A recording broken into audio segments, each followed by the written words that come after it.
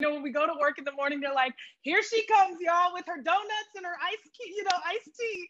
Um, but I think, you know, I come in and we all have studied different people. So I think beyond me being the youngest, um, I can kind of say, well, you know, online people are really discussing this, or what if we try something like this that you guys might not be familiar with, or tell me somebody that I might not be familiar with.